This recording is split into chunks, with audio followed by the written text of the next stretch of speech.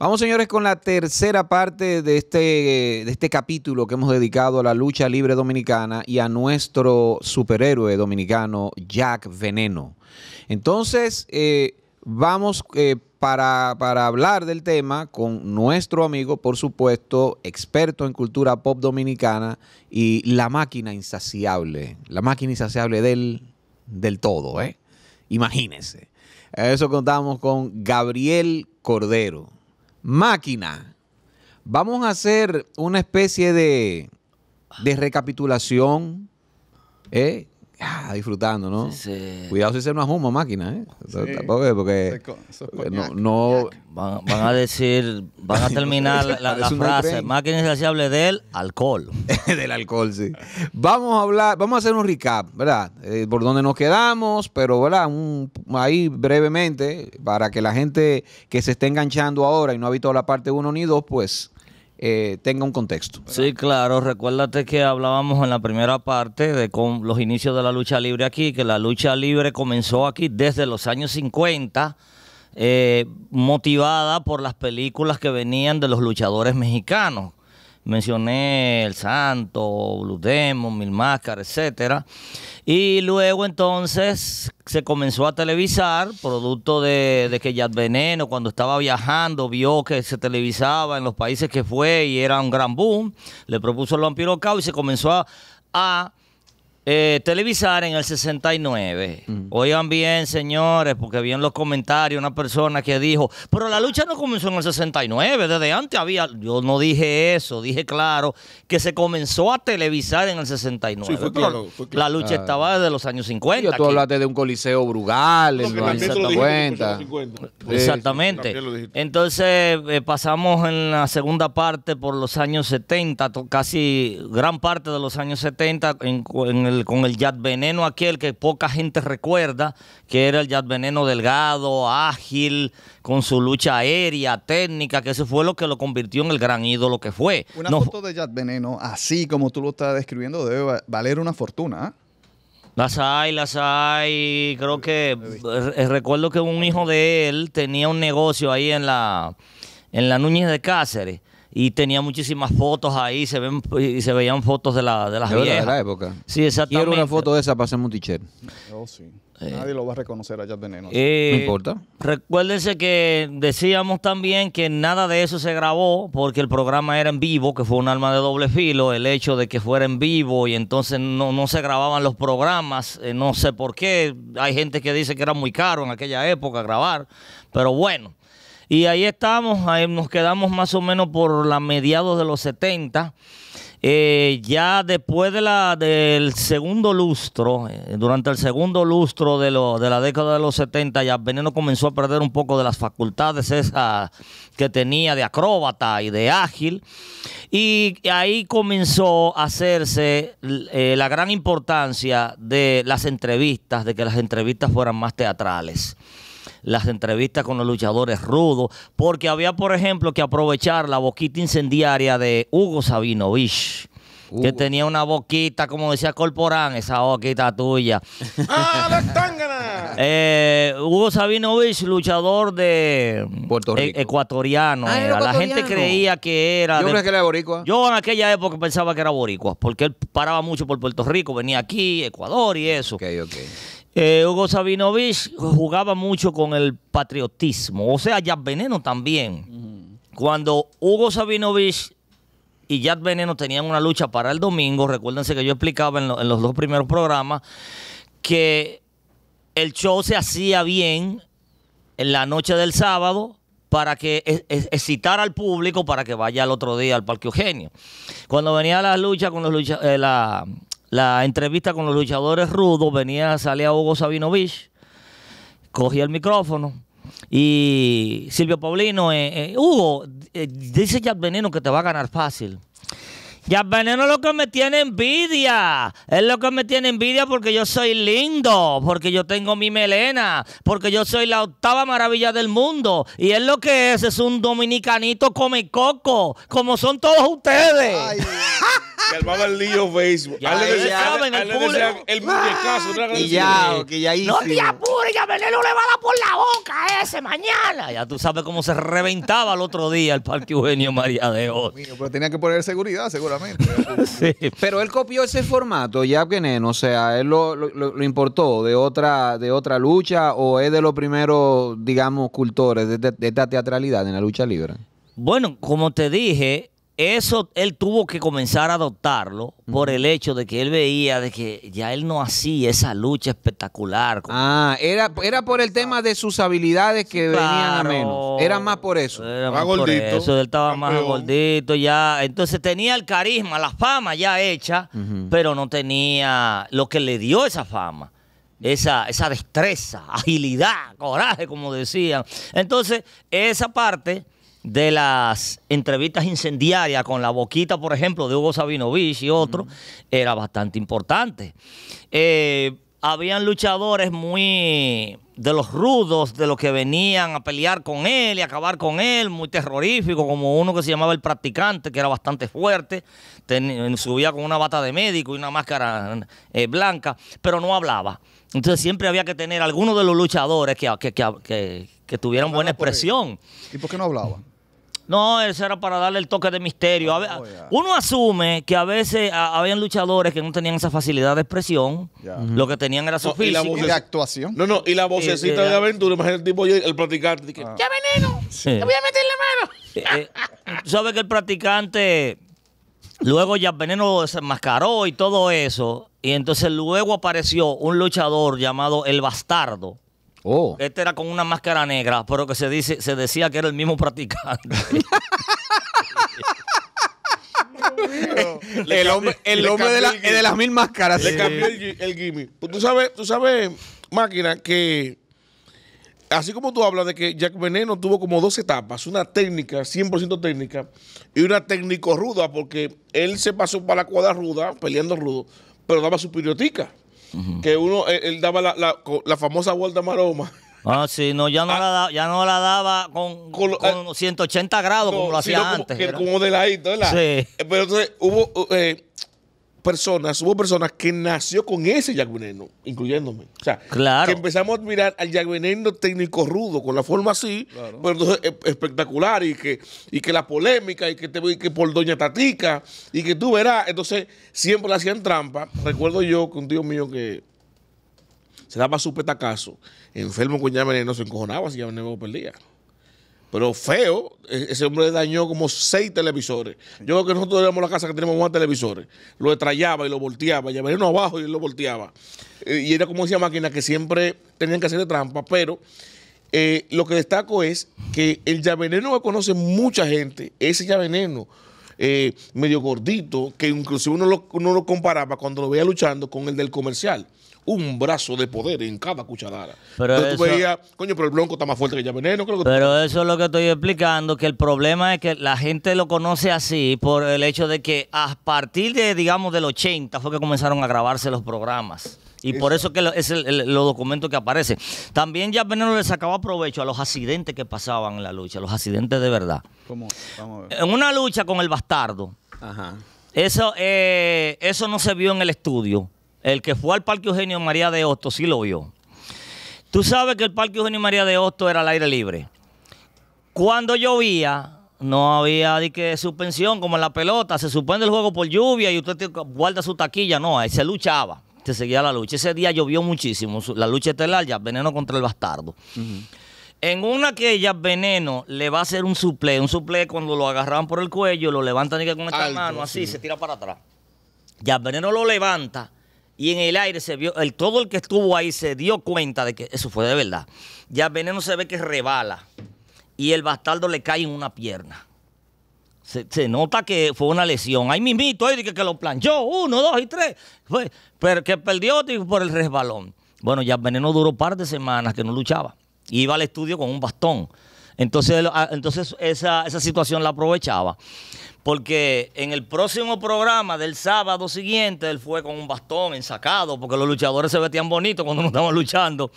Entonces, de que el bastardo venía y abusaba de uno de los, lu- de los luchadores técnicos chiquitos, y ya Veneno se quería meter con el bastón, así cojeando, y lo tenían que venir todo el mundo a agarrarlo. No, no te metas, no, que tú te herido.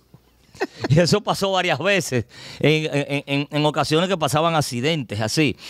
Eh, luego entonces pasamos, an- an- ante- anterior a eso, no, no recuerdo si mencioné, creo que sí, de lo que pasó con el luchador mexicano Buddy Monte. No, no, no, yo creo que no, la anécdota de Buddy Montes no la recuerdo. Que fue que en el 75, 76 por ahí, en una lucha allá en Nueva York, él lucha contra Buddy Monte, luchador mexicano, que, que vivió aquí un tiempo. Él desde los años 70, hasta estaba vivi- 60 estaba viviendo aquí. Inclusive tenía hasta una mujer en Puerto Plata y eso. Buddy Monte tenía problemas cardíacos, el médico le recomendó que dejara eso de la lucha, por eso él hizo caso omiso eso. Y en una lucha con Jack Veneno, él le dio un ataque cardíaco y murió ahí mismo. Wow. Bueno, por eso Jack Veneno, Vampiro y compañía le sacaron provecho como por 10 años. Ahí. Porque a cada rato venía un luchador mexicano que venía de que, de que a vengar la muerte de nuestro hermano Buddy Monte, que Jack Veneno lo mató, ya tú sabes. Todavía hasta en los años 80, recuerdo que vino uno que se llamaba el Coloso de Roda, que, se, que, que cuando lo entrevistan, vi- yo vine aquí a acabar con Jack Veneno porque él mató a nuestro hermano Buddy Monte. Digo, digo, diablo, todavía. Y la familia todavía, no, ojalá que no se haya creído esa vaina, porque Pero todo eso era parte del teatro que había que hacer Sí. ya. eh, hacer e- e- este asunto histriónico por la carencia de esa lucha aérea que tenía ya Veneno, que ya no la tenía. Luego en el 77 aquí comenzaron a transmitirse la lucha de Titanes en el ring, una lucha libre argentina. El 77 que tenía un año de salir al, al aire el canal Telesistema Canal 11 de los pocos canales que había, salía este canal nuevo. Tú sabes, cada vez que salía un canal nuevo se, se convertía en el boom, por lo menos por los primeros dos años. Época, claro. Y, y ellos transmitían Titanes en el ring al mediodía los sábados. Ya. para co- no, ah, no, la, la lucha libre era más, era más tarde, ¿no? Eh, era más No, tarde. todavía era- la lucha libre era de Sí, sí, noche. era de noche Sí, todavía. este, Pero la gente la veía. Nunca fue eh, eh, eh, competencia así, una competencia real de la lucha libre de nosotros, porque era una lucha como muy infantil. Era como dedicada a los niños, tenían varias cosas teatrales, inclusive ponían de que un niño en el público que siempre iba y siempre estaba estornudando, que se veía que era parte del show. Sí. Y todos los luchadores era con una temática que cuando salían le ponían una música. Yo recuerdo mucho uno que me llamaba mucho la atención, que se llamaba David el Pastor. Ese salía con unas ovejas, vestido de andrajoso de un pastor, y con unas ovejas de verdad salía él y una cara de depresión. Y le ponían la música de la película Éxodo de 1960 de, de Paul, con Paul Newman. Esa música así, tan teatral, él se la ponía. Tan, tan, tan, y él venía Y saliendo. así vaina me- del cine Peplum. Y le daban unas golpeadas. al pobre, al pobre hasta, hasta las ovejas le daban. No, pero después la- los americanos copiaron eso después. Sí. y estaba el panadero Gran Pan, que le- le- la, la canción era Hace rin, hace ran. El panadero Gran Pan pide pan y él le da. Pero ven acá, pero cuidado si Super Pan, la serie de eh, Boricua, es inspirado en ese personaje. Oye, eso. ¿Tú te acuerdas de Super Pan? Sí, Sí, pero- cuando viene a ver inspirado en eso. Sí, sí. No lo dudo. STP, ese era uno que entraba en un carrito como de Fórmula 1. Él entraba en su carrito ahí, le ponían una música ahí. Wow. El alemán Otto. Era muy, muy chévere esa lucha, Pero, pero, no pegó, no pegó aquí.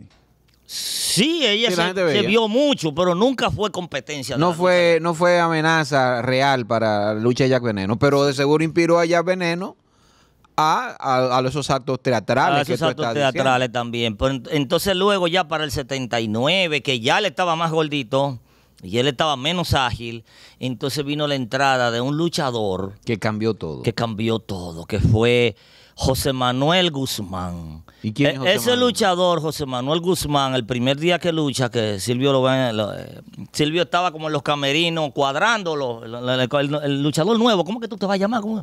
Y él dijo, Relámpago Guzmán.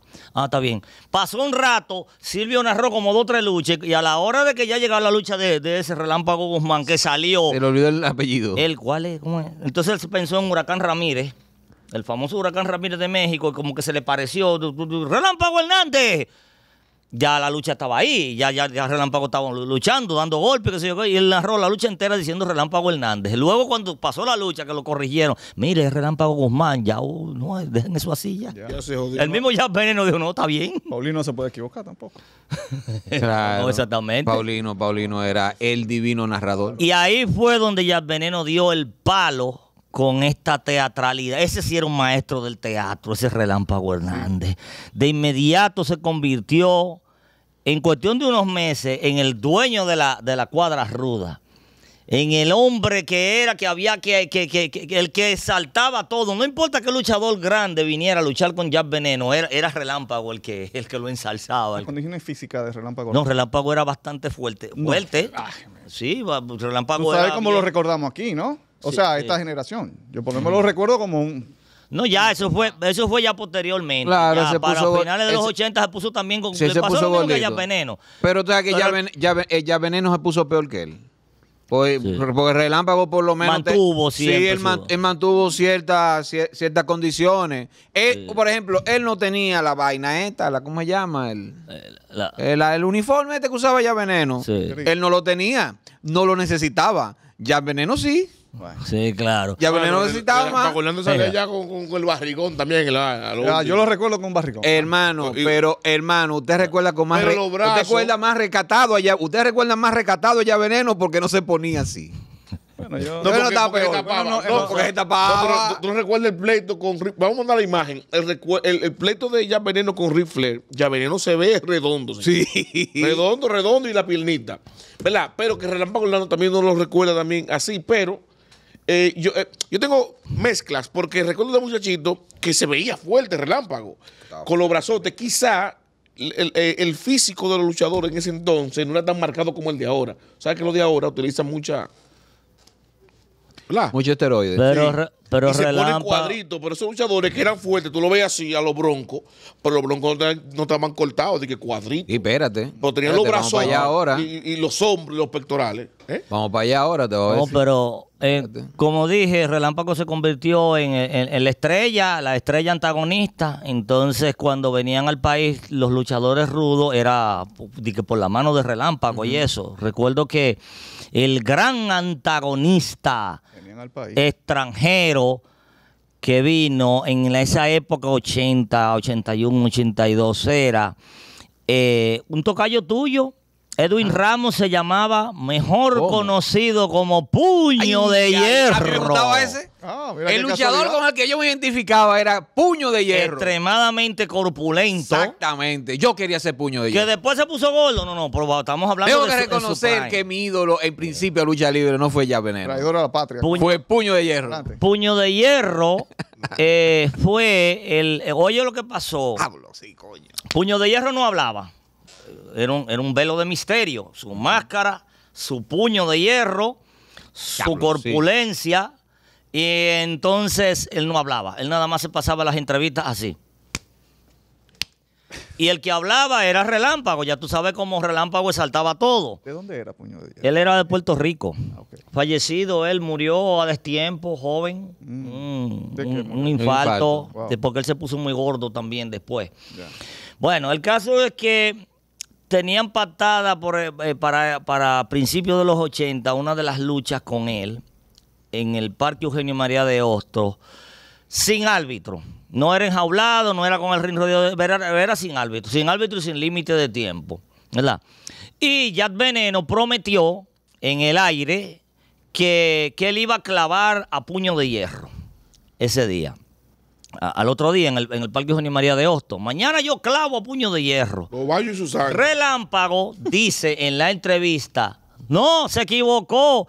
Puño de hierro te va a clavar a ti en plena talvia. Él te va a tirar fuera del ring y te va a clavar en plena talvia, o sea, afuera, en el piso. Clavar es, eh, que en, eso- en esos tiempos fue que salió ese tipo de golpe, que era, agarraban al luchador contrario, lo ponían, digamos, la cabeza aquí abajo entre las piernas. Lo levantaban así y se tiraban de espalda así, práctica, ya sentado.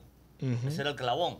Luego lo modificaron a caer de rodillas porque ese era bastante original. Y peligroso. caían sentado, Y peligroso. eh, era, era fuerte. En esa época todavía era así. Va a la lucha del domingo. Yo estaba allá, ahí, eh, cerquita del ring, ahí. Eh, ya Veneno se pasa la lucha entera dándole golpe a puño de hierro. Y le pega la codera, y le deja, y lo extrae, y lo tire para acá. Eh, eh, lo partió aquí en la frente y la máscara estaba rojita de sangre. Acabando. Cada vez que Puño de Hierro hacía una, su llave principal, que era el abrazo del oso, que cuando levantaba al luchador así y lo apretaba, el luchador pedía abandona de una vez. Pa- Pedir abandona era rendirse. Sí. Ya Veneno no se rendía, él lo agarraba con el abrazo del oso y ya Veneno hacía así, oh, y después venía la codera, pa, la manigueta, ta, y se soltaba. Se pasó la lucha entera dándole golpe a dos manos a, puño, de, hierro. Cuando ya se disponía a clavarlo, viene puño de hierro y que le da un golpe bajo. ¡Pa! Golpe bajo a Jazz Veneno. Jazz Veneno cae a la lona. Puño de hierro lo empuja con el pie hacia afuera. Y afuera, en, el, en la talvia, lo agarra. Todo el mundo estaba esperando que Jazz Veneno lo iba a tirar para atrás y no se iba a dejar clavar, pero no. Lo Puño clavó. de hierro lo levantó. Recuerdo que cuando Puño de hierro lo levantó así, una mujer que estaba cerca de mí dio un grito. ¡Ay, Dios mío! Como, como, Me van a matar, como que campeón. a matar a su papá. Y comenzó a llorar esa mujer ahí y Puño de hierro lo clavó. ¡pa! En plena talvia, ya veneno. Espectáculo. En, en la lucha del Parque Eugenio María de Ostro no se narraba. Es como en la pelota. Tú vas al play y tú no oyes narración. Eh, eh, claro, Silvio Paulino no estaba narrando, pero en ese momento del clavón, ya cuando la lucha se acaba, él cogió el micrófono y dijo por las bocinas: Lo clavó en plena tarbia. Una camilla, por favor, una camilla. Trajeron una camilla, se llevaron allá veneno en una ambulancia y todo. Perdió esa lucha entonces. ¿Eh? Perdió esa lucha. Claro, la perdió, pero fue por el golpe bajo. Oh, de- Porque Recuérdate eso no lo vio el árbitro. ya. No, porque recuérdate No que era sin árbitro. Ah, no había árbitro. No había Ah, árbitro, por verdad, eso no lo descalificaron, porque era sin árbitro, ahí se permitía todo. Sin descalificación. Cuando vino la semana siguiente, Pero distraían árbitro después para que no viera. cuando vino la semana siguiente, resulta que llevan al estudio un doctor. El dueño de la clínica tal, una clínica pequeña que había como por el mirador. Aquí tenemos, señores, en la entrevista que tenemos al doctor fulano de tal en la clínica donde Jack Veneno está interno. Miren las imágenes ahí, ponían el, el- el- el video donde estaba Jack Veneno eh, acostado en su, en su cama de, de la habitación. Y su cuello ortopédico. El doctor entonces saca, mira, aquí está la radiografía, aquí está, mira, esta es la, región cervical. Él tiene aquí una fractura aquí en esta parte de aquí. Míralo aquí, qué sé yo qué. Televisión Nacionales. Sí. Ahí mi madre. Doctor. A matar a Y la de gente, y la gente preocupada por, por ya veneno, imagínate. Pasaron un par de semanas y ya Veneno apareció como para la segunda semana o tercera con su cuello ortopédico. Entonces cuando Puño de Hierro subía a, un- a una lucha y le estaba dando unos golpes grandísimos al Ángel Blanco o al Espartaco abusando, ya Veneno se quería meter y lo tenían que agarrar. No, no, ya Veneno, tú porque tienes un cuello herido. Ortopédico. Cuando ya Veneno le quitan el cuello ortopédico, como dos o tres semanas después, entonces lo- los videos eran, aquí está ya Veneno entrenando, haciendo un ejercicio de cuello. De que se ponía cuello, con una soga. Como Yo Rocky, Me acuerdo de sí, eso. como Yo me Rocky. acuerdo de eso. No, no, con una vaina Sí. quitada y que, de que fortaleciendo el cuello. Porque entonces vino la lucha. Buscando venganza. Mañana domingo, ya Máscara veneno contra cabellera. contra puño de hierro. Y oye lo que pasó. Para que tú veas que todos le sacaban provecho. El hijo de Jack Veneno, Jack Michael, tenía como siete años cuando eso. Un niño. Y él lo llevaban al estudio y todo eso. Pues en una, él que ya ve que su papá va a luchar al otro día con este monstruo que lo internó, él se puso a llorar ahí. Ay, Pues fuera, fuera de cámara fue. Se puso a llorar, ay papi, no luche con puño de hierro, no papi. Y se lo agarró así. Bueno, eso pasó y en lo, el y lo estudio. televisaron. ¿Eh? No, no, pasó lo- en el estudio. No, no, eso Ah, pasó eso en el estudio fue fuera, fuera de, de cámara. cámara. Pero cuando vino Ya la sabía. entrevista con Relámpago Hernández, Relámpago viene. Ahora viene la entrevista con los luchadores rudos. Dime, Relámpago, ¿qué tienes que decir? Óigame bien, señores. Si hay un ser, si hay dos seres en este mundo que pueden advertir el peligro, son los animales y los niños. Y estoy diciendo esto, ¿por qué? Porque ya Michael, el niño de ya Veneno, se puso a llorar y dijo, no, papi, no luche contra ya Veneno, eso es que está advirtiendo el peligro. Ya tú sabes ya Veneno lo que te va a pasar mañana. Genio, el genio del mal. Y eso, y eso fue, según lo que, lo, lo- lo que estaban ahí, eso fue de improviso que él lo sacó. Eso no fue de que, que lo planearon. Mira, vamos a decir esto, no, lo- se le salió a sí mismo. Genio del mal. No, que son unos el genio del mal. Y no, no pasarían anécdotas porque, vamos, eh, estamos hablando de personas que se creían eso, que eso pasaba de verdad. Y nunca pasó algo que se le escapara de las manos, una discusión, una pelea no, por se eso. metían los, fanáticos. No, los, los fanáticos se metían a darle golpe a los luchadores. No, no, recuérdense que yo les conté a ustedes en la primera intervención o en la segunda el incidente que pasó con el hermano muerto, el hermano de la muerte Sí. primera, que le dieron un sillazo ahí. Sí, que era un sillazo, no, Quizá por eso eh, eh, que usaban máscara, los antagonistas de, de Jack Veneno. Sí, lo malo. Por, por eso no, no, no podían la gente identificarlos en, la- en las calles. No, exactamente. Era un peligro. Sí. Era un No, era por eso. Sí. ¿Tú qué edad Yo recuerdo- en ese momento? Yo recuerdo, Maracayo, que después de la- del pleito con Puño de Hierro, salieron abrazados ya Veneno y, y Puño de Hierro en la prensa. Ah, eso como para- pa- pa limar pereza. No, porque lo que, su- lo que sucede es que Puño de Hierro en una también... eh, Fue técnico, ¿no? eh, traicionó la cuadra de Relámpago Hernández y se pasó para la de Jack Veneno. Porque eso también, su- esa era otra parte Sí, del show. eso se usaba. sí. A Hugo Sabinovich, el luchador que mencioné, uno de sus seudónimos era El Traidor. Porque él una vez traicionó a los rudos, se fue para donde Jack Veneno, luego traicionó a. Jack Veneno, luego traicionó, vivía traicionando tra- y le pusieron el traidor. El traidor. El toro negro, o un luchador moreno, alto, fuerte, gordo, no, go- gordísimo, ese era el hombre de la barriga voladora. que él brincaba, se le pegaba la barriga. Ese le decían el Judas dominicano, porque eso era también una parte buena, la traicionadera de- del luchador. Claro, claro, Esa la época, intriga. Esa lucha del puño de hierro que lo clavó, tú, tú estabas allí. Sí, ¿Qué edad tú tenías ahí? Yo tenía alrededor de 13 años, creo. Tú que. ya, pero ya tú habías caído en cuenta de que todo era un teatro o tú estabas convencido de que era verdad. Yo estaba entre dos. Entre dos. Yo Estaba- entre dos. ¿Cuál fue el momento en que tú dijiste, ah, bueno, esto es una película? Ese mismo. Ese mismo día. Cuando, cuan- po- ¿tú sabes por qué? Mi mamá estaba al lado de mí, porque mi mamá no me dejaba ir solo a ningún sitio. Claro. Ella fue conmigo. Y mientras estaba esa lucha, que ya Veneno estaba dándole todos los golpes del mundo y levantaba puño de hierro así, lo tiraba, que yo que decía, diablo, se nota claro que la lucha es truco. Eso fue al lado de mí. Ella dice, se nota claro que la lucha es truco. Porque tú crees, tú crees que ya Veneno, eh, que es un hombre normal, dijo ella a sí mismo, puede levantar como un muñequito ese hombre tan fuerte. Porque que puño de hierro era impresionante. ¿Eh? ¿Tú crees que es eso? Y yo me quedo callado, digo, caramba. Y luego con este show aquel de la semana siguiente del doctor y las cosas. Tú dijiste, aquí, aquí hay el gato entre macutos. Sí. Uno de los luchadores más que también me llamaba mucho la atención, porque como te digo, me gustaba mucho Jack Veneno, pero no puedo negar que me gustaba ver estos tigres en máscaras. Me tenía un fetiche con las máscaras, porque también me gustaba el santo, ¿no? Sí. Y las películas malas del santo. Me crié viendo eso también. Con tú. Fetiche con las máscaras, sí, sí, con las máscaras de los luchadores. Óyeme, tú... ¿Cuál es el problema? No, Nada, sí, sí, no, Fetiche. ese otro corte, ese Digo, otro eso es privacidad, ¿eh? La priva- en la privacidad se vale todo. Óigame, eh, óyeme, yo quiero saber, háblame, fue tan fue muy importante Astroman. ¿Y ¿Tú qué significó Astroman a nivel de físico? Que decía algo Mario ahorita, porque para mí que se estaba apoyado con esteroides y Sí, claro, claro. Tú sabes que con Astroman hay una buena, una, una bonita anécdota de esas, de esos shows eh, espectaculares que armaron con eh, así teatrales. Eh, ustedes saben que era Astroman 1, que era, Eso era normal, flaquito, eso era pero después vino Astroman 2 y Astroman 3 que eran bastante fuertes. Eh, yo hablo del Astroman 3.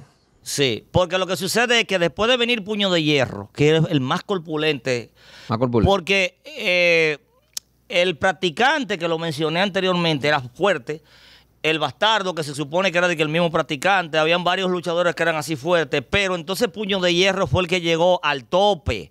Sí. a, la crema innata de, de los músculos, tú ves. Sí, sí, y eso causaba buen efecto. Exacto, porque fueron, fue superando Entonces, eso. por eso, musculoso, todo eso más que vinieron después, como ya Veneno iba a los gimnasios, él, él lo hacía, él iba a los gimnasios y chequeaba tipo fuerte. "Ven acá, muchacho, ¿qué tú haces? ¿Qué tú trabajas? Ven a trabajar, yo te pongo. yo te- Vos porque yo no sé luchar, no te apures, te, te enseñamos. Y le daba clases, por ahí fue que nacieron los broncos, Ok. ¿verdad? Muchachos que, que- que levantaban pesas en el gimnasio. Uno de ellos, uno de los broncos tenía el cuello muy fino, eso contado por el mismo Jack Veneno.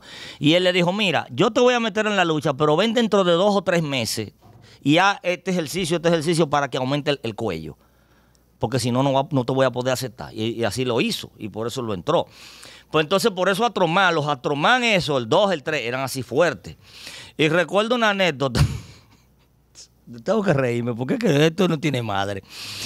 Un día Yad Veneno en el estudio, cuando ya eso era cuando la lucha era al mediodía, eh, tiene en la tertulia indubeca patada de que él, yo no recuerdo quién era, yo sé, no sé si era el mismo Yad Veneno que cumplía años o algo así, que lleva un bizcocho. Pero antes, en la entrevista de los luchadores rudos, que era antes de la tertulia indubeca, Sale Relámpago, ensacado. Ese día Relámpago no luchó. ensaca- Yo, como yo les dije, los luchadores cuando no luchaban, ellos iban al estudio vestidos bonitos, ensacados, sí, muy bien. Llega con todos sus luchadores y un maletín en la mano. Se sienta, le dice Tamare, eh, Relámpago, ¿qué es eso que tú tienes ahí, ese maletín? Viene, viene él. ¿Tú has visto las películas de gángster?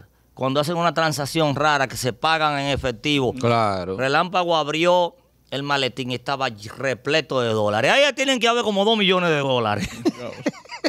no sé de qué manera lo hicieron. No, la, la Reserva Federal resuelve eso, ellos imprimen.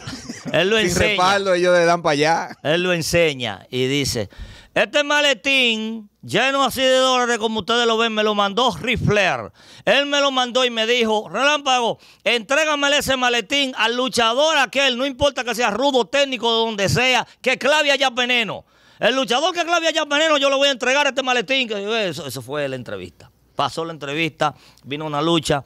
Luego viene la tertulia indubeca con el cumpleaños este de, de Jack Veneno, el bizcocho y unos niños, un grupo de niños, eh, limpiabotas, que Jack Veneno va a compartir el bizcocho. Astroman, el fuerte, el Astroman fuerte, estaba ahí. Que era técnico, que era pareja- técnico. Técnico, pareja Sí. de él. Está, entonces cuando están a él, le pasan el micrófono y él no quiere hablar. Él está así serio. Oh. Y entonces ahora, dice ya Veneno, vamos a compartir el bizcocho con los niños, vengan los niños. Cuando los niños vienen, de repente viene Astromán, agarra el bizcocho y se lo pega arriba ya Veneno. Lo baña de suspiro, le comienza a dar golpe, se meten los luchadores, se separan. Y después viene, viene, viene Astromán y coge el micrófono. Es que lo que pasa es que por ese dinero yo clavo hasta a mi mamá. La traición de Astroman. Tú sabes que hay una traición que yo recuerdo. La memoria es traicionera y la memoria siempre mete mucha ficción. Pero creo que fue más o menos así. Había un luchador técnico que se hizo popular y rápidamente, yo diría, Thunderman. Ajá. Thunderman era enmascarado. Ya Veneno empezó a usar esos luchadores enmascarados, como me dice. Astroman fue el primer enmascarado el técnico buenísimo. ahora Entonces, Thunderman, Thunderman se hizo popular. Thunderman era un luchador negro. Negro, ¿no? Con y máscara negra, negro. El outfit de él era negro. Más negro que los Ma- pantalones de licra negro, porque eh, eh, tenía el pecho afuera. El tipo, en una de las luchas, sábado, por supuesto, yo recuerdo que estaba lloviendo Él no, ese él, día. no usaba, él no usaba un pantaloncillito, era. Eh, creo que era un pantaloncillito, sí. Alguna vaina negra, era negro. el La outfit. truza era que le decían Era- a eso. Exacto, exactamente, exactamente. Eh, el tipo está luchando, está ya veneno ahí, eh, eh. agarra ya veneno y le da una salsa. Creo que lo amarra en un momento dado. Lo amarra de uno de las, ¿cómo se llama? De la, de la, De las cuerdas, de las las cuerdas, esquinas. eso, sí, de las esquinas, lo amarra. Lo golpea. Ya veneno empieza a sangrar. Ponen la famosa censura. Recuerden, la censura. ¡Censura! ¿Sabes que No, eso es eh, morbo? sí, claro, lo censura. Censura para que yo que. En la, pa- en la televisión. Sí, el Sí. tipo lo traiciona, le, le da duro, le golpea. Y ustedes saben cuál fue el acto ya más, o sea, que, que fue el, el culmen. Oye, me pasó ni, ni un guion. Se quita la máscara. Thunderman es igualito a Relámpago. Es- igualito igualito. a Relámpago. cacopelado, con el candado, igualito. Ese traidor era igualito a Relámpago. Era Relámpago. Y ese se consumó esa traición. De ahí de repente ya Thunderman era relampaguito, porque tenía, quería tener, no tenía, no, no tenía ese, ese histrionismo tampoco, no llegaba a ese nivel, pero eh, quería ser así elocuente. Creo que en un momento le pusieron hasta el hombre de la cuchara. No me acuerdo, que no sé que le pusieron el hombre de la cuchara. Y yo recuerdo esa traición. Esa es una, la traición, de- el acto de traición que más me, Sí, me marcó. Por eso te digo que los actos de traición eran un recurso bastante atractivo en, en los luchadores. Pero era tanto el teatro de ellos como, por ejemplo, uno que escenificaron Relámpago y Veneno en el Parque Eugenio. Relámpago y Veneno casi nunca luchaban. Porque siempre Veneno con quien luchaba era con unos luchadores rudos que Relámpago traía. Ajá, con los refuerzos. Y Relámpago luchaba con algún técnico de los de los de Para Veneno. para los dos ganar, porque si no, Sí. iban a perder siempre. Es como lo malo de la película y los muñequitos. Eh, maldito traidor, va- maldito, voy- ve- vayan, No, no. liquídenlo. Pero- Era así, Porque así. imagínate, si, si pelean siempre, Veneno le va a ganar siempre, entonces el malo no sirve. Exacto. O viceversa. Entonces dice, no, yo le gano todo lo tuyo, tú le ganas todo lo mío. Pero en una ocasión de que están un dimi direte, se desafían a una lucha. Porque tú lo que me tienes miedo, dice, dice Jack Veneno. No, pues yo, yo- te voy a demostrar que, yo- que vamos a pelear. Y, y pactan una lucha para el domingo en el Parque Eugenio María de Otto. Relámpago Hernández contra Jack Veneno. Bueno, esa- ese día se llena, se repleta. Y comienza la lucha allá en el Parque Eugenio, en la cual Jack Veneno agrede a Relámpago, le da y cuando le va a hacer cualquier cosa, lo va a clavar, ya Relámpago se tira para fuera del ring. Porque había que, entonces, el, el asunto de que él era la gallina, que le tenía miedo. Ajá, ajá. Vol- Sube al ring, ya, eh, Relámpago le daba de espalda y le daba por aquí. Cuando ya Veneno se recuperaba, venía Relámpago y se tiraba para afuera. y en una ya, cuando ya había pasado un buen tiempo de la lucha, eh, ya Veneno se incomoda, da un brinco y ahora sí que le voy a dar. Ya eh, Relámpago se tira para afuera del, del- del ring. Ya Veneno le cae detrás. Corre en el ring entero, el público dando gritos. Y Relámpago arranca para la puerta de salida y salió por la puerta del malecón. Y por todo el malecón iba relámpago adelante y ya veneno atrás. Todo el malecón corriendo, atrás. los camarógrafos atrás. Y los carros parándose. Mire, mire, mire. ¡Míralo ahí! Y corrieron Ya por lejísimo el malecón. Cáele atrás. Eso, mira, eh, en, en los años 70 y ya a principios de los 80, era la lucha libre competencia de, del béisbol dominicano. No era competencia de nadie. Era, eh, eh, eh, nosotros trataban de ser competencia Diablo. de la lucha. El número uno en, de todos los programas era la lucha libre. De por- por- en segundo lugar está, podía estar Gordo de la Semana, Show del Mediodía, pero todo era en se- detrás de la lucha. La lucha era el, el espectáculo número uno del país. Entonces, siendo eso eh, dominado totalmente por Jack Veneno en su figura, Jack Veneno hizo mucho dinero entonces. Yad Veneno Mucho hizo dinero. mucho dinero, pero Yad Veneno, así como fue buen luchador, eh, buen organizador de un espectáculo, y tanto así que en el 74, que yo fui al, al estadio Quisqueya, mi mamá me llevó, ahí sí estaba yo chiquito, él trajo al Santo y Blue Demon. Aquí lucharon, los vi yo en el estadio Quisqueya, que lucharon el Santo, Blue Demon y Jack Veneno contra las tres muertes. La muerte primera, la muerte segunda y el hermano muerte. Ya Veneno era muy bueno organizando todo ese tipo de espectáculos, todo el histrionismo, todo lo que sea, pero administrador malísimo. Porque cuando el vampiro Cao muere en el 89, él entonces asume, como él era el otro socio, la, asume la administración. Y ahí fue que vino la debacle, porque que La decadencia era- era total. mal- mal El tiro administrador, final. Mal administrador, sí. Porque como todo, como todo negocio y sobre todo, sobre todo fenómeno, eh, llega, llega a un techo y, y empieza a bajar.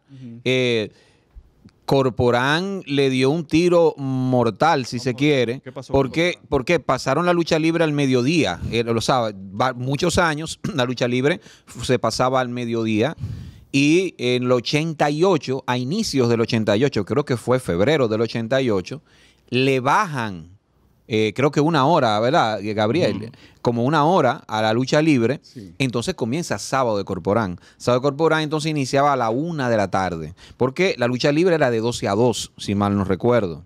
Lo que siempre como a las termina. 11. Exacto, una vaina así, lo pusieron como a las 11. Sábado Corporán empezó a crecer rapidísimo, empezó a la 1, luego lo subieron a las 12 y después ya tengo sábado chiquito, o sea, ya era Corporán el día entero. Corporal. Pe- ganó sí. la lucha allá. Corp- sí, porque Corporán venía con el programa Sábado de Corporán, venía ya con una con un arma, con un armado. Ah, pero tú. y- y tú- Importante. no, porque tú crees el nombre. Los sábados Claro. de Corporán. Corporán, además- Corporán venía ya con el circuito radial, circuito Corporán, se había ganado el pueblo eh, en radio y ya lo de televisión era como que El casi boom. pan comido. No, y era el día entero Y esa vaina. además era, Maratón. Era también ya la época de la decadencia en verdad. De la lucha libre, eh, Vampiro muere, entonces ya Veneno tiene que encargarse de la administración, mal administrador, ya él estaba más gordito todavía. La lucha americana influyó. La lucha americana estaba en su auge bien bueno, la WWF, que era así en ese tiempo, ya tú Que de- sabes. que se Gómez- supone Gómez que- Díaz también se encargó de eso. Sí, y lo puso, pero que se supone que eso debió favorecer a la lucha local. Pero como tú dices, quizá ya era una buena, una buena estrella, pero era un mal gerente. Mal gerente, Es- se, puede, exactamente. se puede decir que eh, Corporán y Gómez Díaz Corporán y que- fueron. Que, que Jack Veneno no pudo. Sí, pues. Corporán y Gómez Díaz fueron los que vencieron, le dieron el plan, la planchón. Eh, uno, dos, tres, planchado. Aparte de que él no pudo, no pudo crear un relevo. Un luchador que fuera. Él, él intentó, por ejemplo, con el hijo de él, con Rafi Sánchez, pero después No, al final tuvo que ponerlo de, que de narrador. Sí, de comentarista y vaina. Porque jalado por, los- por los- por los pelos, porque al hijo parece que nunca le gustó esa vaina y nunca se puso en forma. Entonces, Sí. cuando trajo al hijo, eran dos gordos, uno al lado del otro, luchando con la misma ropa. ¿Tú te acuerdas? Sí. La, la misma ropa, los dos gordos, los tetones y el barrigón. Coño, acá Lo ese que yo carajito y mete recuerdo- los gimnasios. Lo que yo recuerdo ahora, de aquí es un capítulo aparte, o por lo menos mención aparte de los presentadores de la lucha libre. Porque Silvio Paulino era superestrella. Exacto. Superestrella. top, fue o sea, luchador primero, primero Ah, Veneno. oye. Él era luchador en los años eh, 60, principios de los 60, que se llamaba Tony el Salvaje. oye esa vaina. Trem- y era tremendo luchador. Lo único es que él no pudo alcanzar buen peso. Era demasiado Delgado. delgado porque él era demasiado fumador. Ok. Que creo que de eso murió. Entonces ese carisma lo, Sí. lo- lo llevó entonces a presentar. Pero había, había un- una figura que en la- cuando entrevistaba a la cuadra ruda siempre lo cogían de mojiganga. Yo lamento, pero Tamares, Alberto a Tamares lo Tamares. agarraba siempre de relámpago y lo, Sí. le, agarraba el cuello, No, casi lo levantaba de este alto. Eso era parte del buen show. Sí, sí, sí. Pero que si yo qué, que si yo cuánto. Tremendo Eh, locutor ese Tamare Sí, también. sí, Tamares era, era tremendo. Y bueno, después llegó Ray Ramírez. No, anterior estaba el comentarista. Tú sabes que Tamar era la voz comercial. Calcaño. Eh, Silvio Paulino el narrador y el comentarista Ramón Roberto- Calcaño. Roberto Calcaño, era Roberto Calcaño. Ramón Calcaño. Ah, era Ramón Calcaño. Que, que ponía tantos huevos. Por ejemplo, una vez luchó, Yo sé que tenía unos lentes de aumento. luchó precisamente Puño de Hierro en, una- en la lucha de los sábados, luchó contra uno de los chiquitos, contra eh, el Ángel Blanco. Puño de Hierro luchó solo. Puño de Hierro le dio una soberana paliza al Ángel Blanco. Golpe y golpe. El Ángel Blanco no le hizo ni un pellizquito. Y cuando ya le pegó el abrazo del oso, que lo rindió, ya, eh, le- le- el abrazo del oso y abandona. Y ahora los comentarios de Ramón Calcaño. Dice Ramón Calcaño, eh, un combate muy reñido.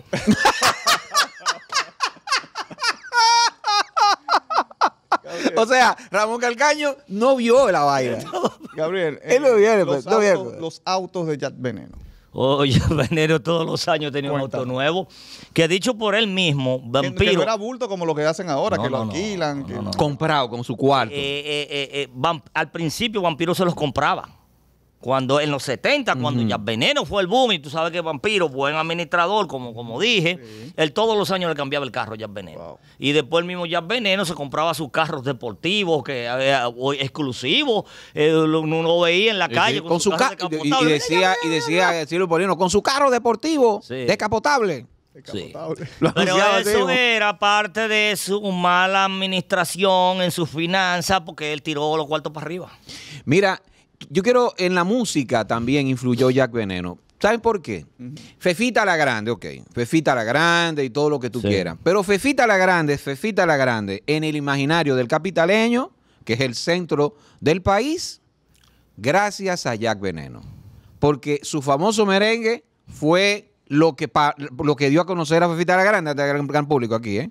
Ese en la cuadrilla veneno, tarara, tarara, tarara. Fue ahí que se empezó a. No es de que vamos a hablar inglés y nada de esa El vaina. campeón ya veneno. Veneno, tarara, tarara, como el luchador más bravo. tarara, tarara, tarara. Fue ahí que se dio a conocer Fefita la Grande. Hasta en eso influyó Jack Veneno. Y déjame decir una cosa: ya en la decadencia de la lucha libre, yo empecé a oír hip hop de calidad y metal de calidad gracias a Jack Veneno.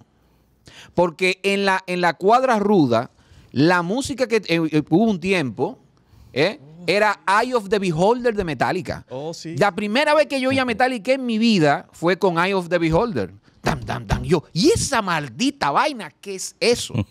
Eh, había otro que era medio bailarín y le Jo- ponían. Johnny Gómez, No el sé- rockero Johnny no, Gómez. Johnny Gómez le ponía mucho house music barato. Ajá, sí. Eh, eh, house music y vaina barato. claro. Eh, eh, Gloria Martini y vaina. No, no. Yo estoy hablando de otro luchador que le ponían It Takes Two de Rock Bass, que los que saben de rap saben de lo que estoy hablando. Yo empecé a oír música de calidad en sentido general con Jack Veneno.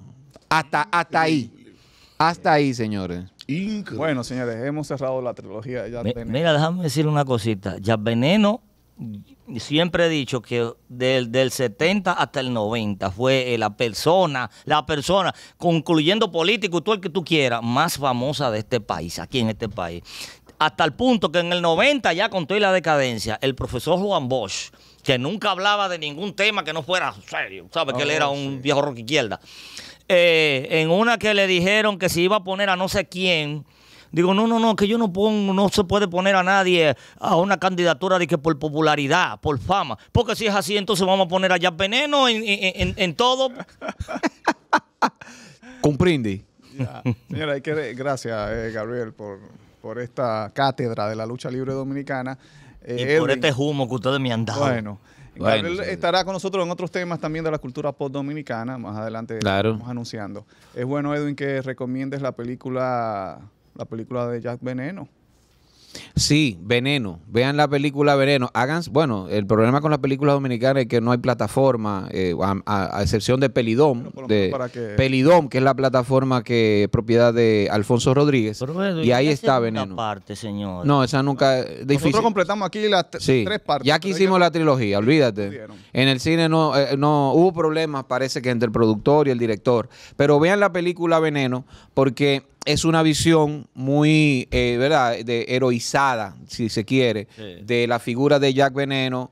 Eh, es muy, es muy buena, sobre todo. Y la de Relámpago también Sí. le heroizaron Sí, demasiado. sí, sí. La, es muy, muy buena en el sentido de, de- de cómo, de- del- del armado, de cómo está editada. El montaje creo que es lo, lo, lo, lo principal que tiene esta película de Las Tabaré actuaciones Blanchard. también estuvieron muy buenas. Sí, no, la actuación de Pepe Sierra como Relámpago Hernández es una cosa impresionante. Y el, y el vampiro Cao. Manny Pérez como Richard Jack Veneno está bien también. Richard Douglas Douglas también. como el vampiro O Cao. Bandy Camilo, genial. O Bandy Camilo brillante como eh, Silvio Paulino. Yo creo que fue la mejor actuación de esa película fue ese. La más estable, Porque por así que La de Pepe Sierra también, man. Sí, pero el problema es que a a Obandi tuvieron que pintarlo de negro. Sí, sí. Y tú Y tú te lo crees, te lo crees eso, como Silvio Paulino. Es a través de una gran actuación que la Claro, hizo. claro que sí, claro que sí. Es una, es una película buena, una película muy digna. Eh, y recuerden, oh, yo quiero, a- también hay que, una petición, eh, yo creo que hay que hablar un día de ese lado oscuro de la lucha libre. Pues aquí hablamos de lo bueno, pero quizá un día se iría a abordar un poquito hay un lado Es que oscuro. a mí me gusta el lado ¿No te oscuro gusta? de Pink Floyd. A mí no me gusta ¿No te gusta el lado oscuro? oscuro. ¿Tú no, tú no quieres meterte ahí? Déjamelo ahí. Ah, bien, pues vamos, vamos a dejar, vamos a dejarse- vamos a dejarle esa tarea a Porque tú otro. quieres a- hablar de Gran Zapata y de... Pero tenemos Sí. que hablar de la salsa. Ah, sí, sí. Y ahí sí hay el lado oscuro. Ah, no, y ahí de- Un lado oscuro que, Ay, pero le gusta Pacheco este. se negó a contar en su documental. ¿Vamos a hacer ese? Vamos a hacer el lado oscuro que le faltó contar a Pacheco. El Yo Soy la Salsa completo de Pacheco. Vamos. Señores, de la Quinta Pata, Mario Herrera, Gabriel Cordero, José Maracayo, Edwin Cruz. Suscríbete, activa campanita, darle a me gusta para seguir creciendo, comparte. Y además recuerda que estamos en 503, canal 503 de Win TVO para el Gran Santo Domingo. Eso es Siembra TV de Rafael Martínez. De 1 a 2 de la tarde, de 8 a 9 de la noche la retransmisión. Y también nos vemos en los principales canales de cable del Cibao Central.